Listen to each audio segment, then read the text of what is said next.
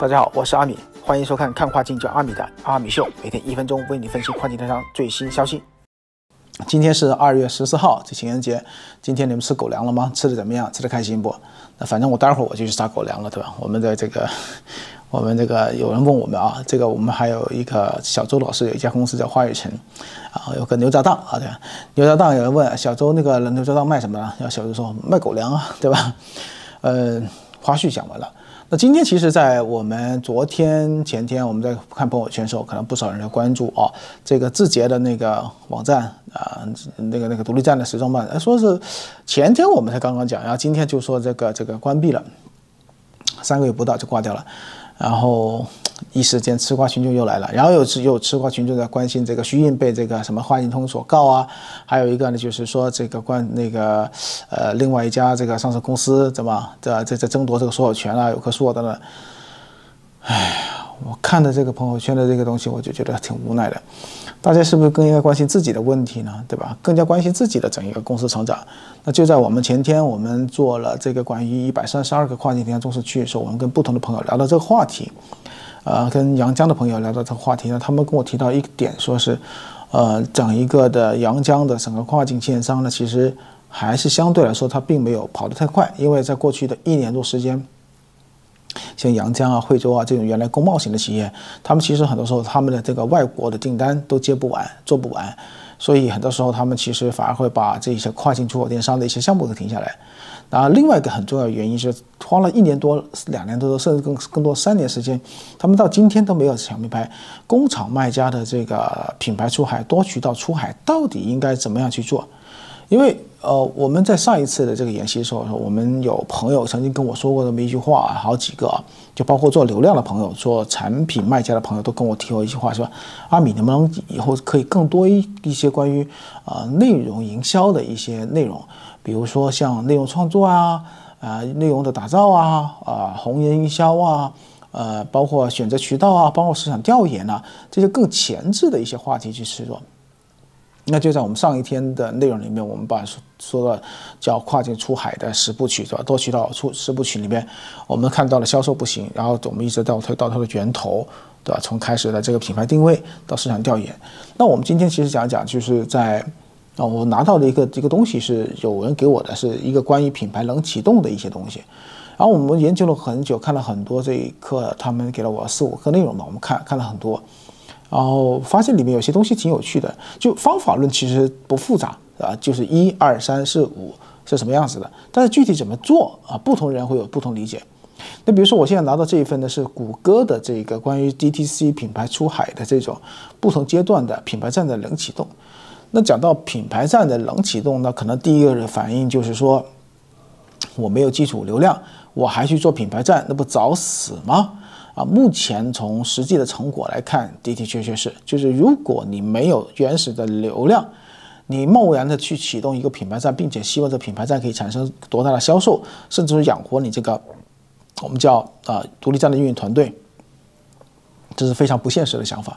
然后在整个冷启动里面，我们很有趣的看了一个观点，那当然这是谷歌给到的一个内容，他把人货场啊分成了五个阶段，从 start up 开始，grow 增长。到 retain 保呃这个关注用户的留存，到 expand 就扩展，到 nuture 叫用户成熟，它分了三个阶段，就是从人货场把这个品牌站的冷启动分成了啊启动、增长，呃叫留存，呃拓展到成熟这么一个过程。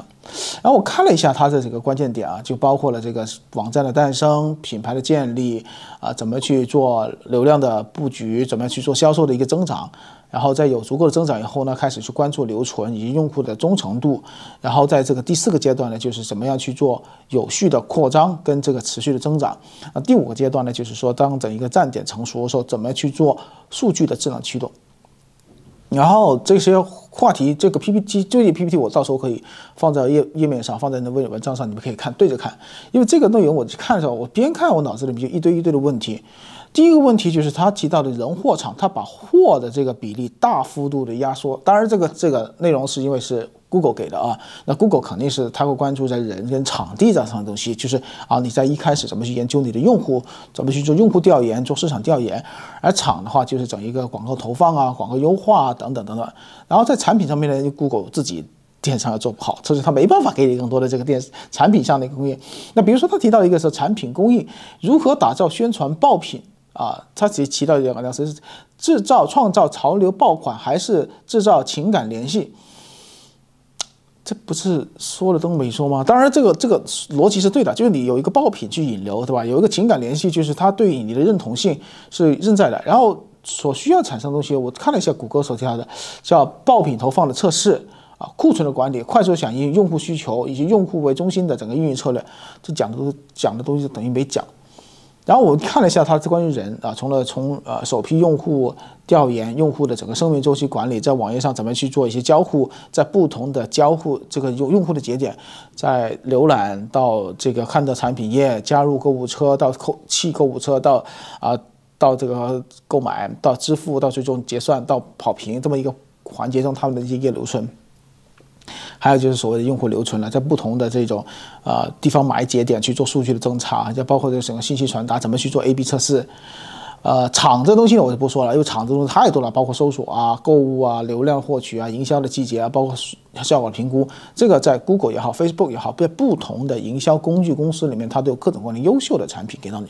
反而今天我特别想，因为我看了这个所谓的品牌站冷启动的这个事情以后，我就特别特别有意思，就是说关于人这个事情，因为我们在不同的场合曾经讲过，说怎么去叫 QYC 啊，不是 Q your customer，是 Know your customer，啊，不是 Know your company 是吧？这不是不是不是杀死你的客户，而是了解你的客户。那我们都提到这个话题的时候，呃，就包括各种各样的选品软件啊，他们都会给各种各样的宏观的市场数据跟微观的市场数据。然后我们再再看到谷歌给了这个呃给一些他们的这种呃新用户去做这种啊冷启动的这些一些方法的参考的时候，我们看了以后就特别特别感兴趣，就是关于这个用户，尤其是首批用户。那首批用户的话，呃，可能大家在观参加过 Google 的这种不同的这种活动的时候。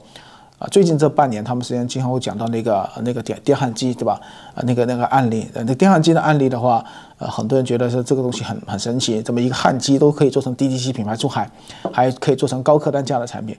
然后这人这个事情上，就包括首批用户啊，包括它整个初始用户的流量，那这个其实往往是我们做所有品牌站，无论是成熟的品牌做新站点，还是新品牌做成熟市场，还是新品牌做新市场的新站点，就。产品、品牌、市场这三个三个组合交叉组合的时候，它对于冷启动的这个需求是不一样的。